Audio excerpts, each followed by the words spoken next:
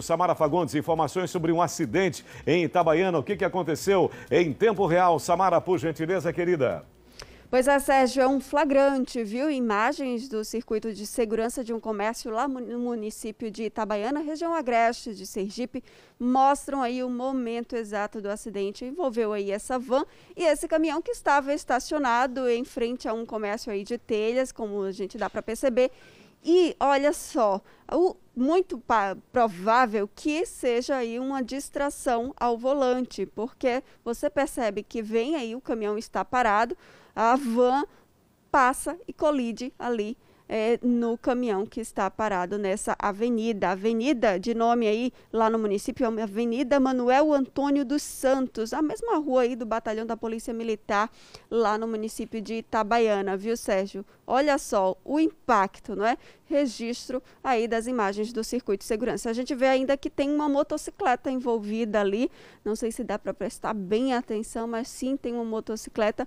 Ninguém saiu ferido. A SMTT lá do município não foi foi acionada para essa ocorrência, mas a gente percebe aí a distração ao volante. Muito cuidado, motorista, hein, é. Sérgio?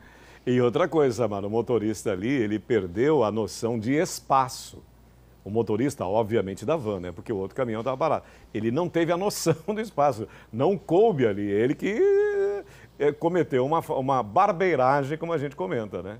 Pois é, Sérgio, e aí ainda, não sei se dá para a gente colocar de novo as imagens e se você aí de casa dá para perceber, mas sim, tem uma motocicleta que fica ali, aparece do nada, a gente não vê essa motocicleta e do nada ela aparece ali logo do lado da, do caminhão também, olha lá, para é, com o susto desse acidente, mas nem se sabe de onde é que ela surge, não é? Um susto para as pessoas envolvidas, com certeza. E agora, pensando bem, será que a van quis evitar uma colisão com a moto também? Isso, e aí a gente não sabe, né? Não estamos aqui para julgar, mas para mostrar os fatos, não é, Sérgio? É, é isso. Talvez, olha, olha, até repensando aqui o meu conceito, talvez ele tenha até se sacrificado para não colidir com a moto, que seria né, um acidente gravíssimo. Talvez possa ser isso. Quem pois sabe? é, a gente fica aí com as imagens, claro, a SMTT que eu fui buscar informações, ela não atendeu a ocorrência, então não ficou registrado um boletim, algo do tipo.